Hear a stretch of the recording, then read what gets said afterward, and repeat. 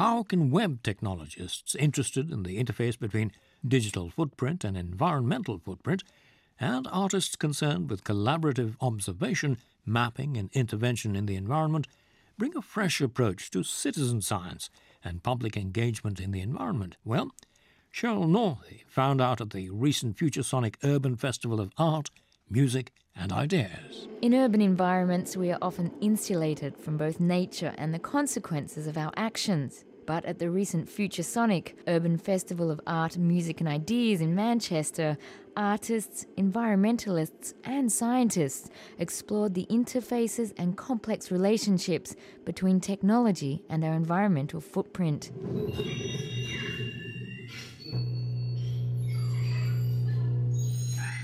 The result is an exhibition of playful artworks that make visible or tangible complex statistics or issues about environmental sustainability in order to provoke and inspire everyday people. At the Cube Gallery in Manchester, potted plants are suspended from the ceiling. As people pass by or touch the plants, the small hanging garden of plants performs a kind of symphony. This whimsical interactive garden produces sound when touched by people or when it registers changes in light and heat.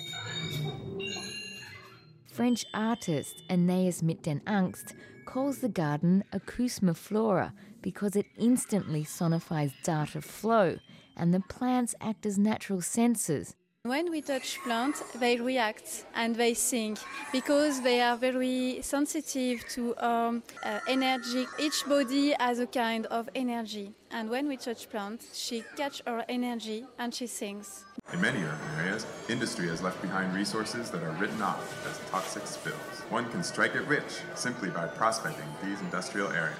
Jon Cohrs won the Futuresonic 2009 Art Award for his performance based artwork he modified old metal detectors and hydrocarbon sensors in order to detect oil in industrial areas of cities.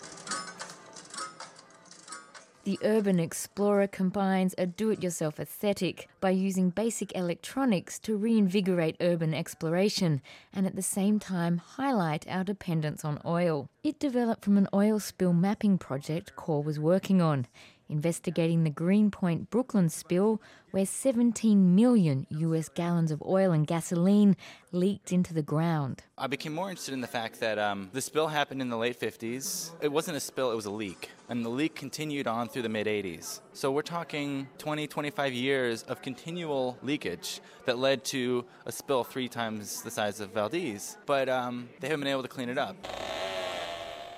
Cohrs shocks passers by as he leads a group of urban prospectors along the old canalways of Manchester. Maybe between this crack right here, we're getting runoff from the street from uh, probably, you know, from uh, automobiles that are leaking oil or gasoline, and the rainwater's bringing it down, and it's probably just running right down into this pocket right here, and it's probably accumulating uh, over the last couple of uh, months right there.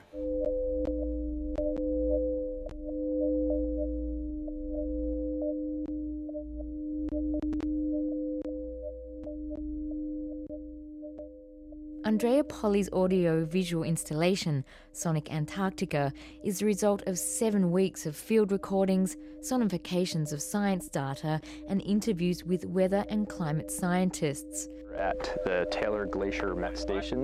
The recordings are from the dry valleys, some of the driest and largely relatively ice free areas on the continent, completely devoid of vegetation. The main, the main thing that we're trying to do is, is monitoring long term climate.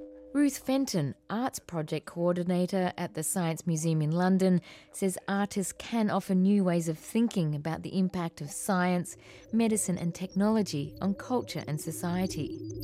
It presents a way of looking at such a huge topic as climate change in a far more accessible way than dry statistics. Artworks bring an experience, an expression, and an, interpretation.